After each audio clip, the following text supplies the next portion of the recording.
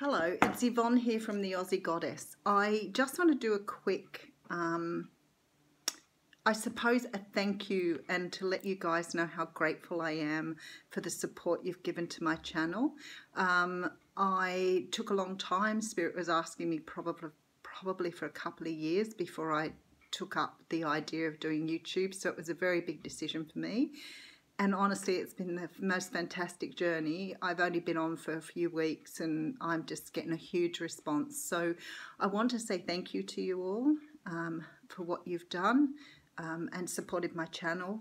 And I know that I don't show my face normally, but I only have my phone. So once I get my camera up and running, then I can do readings face to face and I can definitely do live readings and that is what is in the future for us to share. So thank you again. Um, I hope that everybody's enjoying what's going up there. I will think of more creative ways to move forward, but obviously what I'm doing at the moment, everybody's loving. So thank you. Much love. Mwah.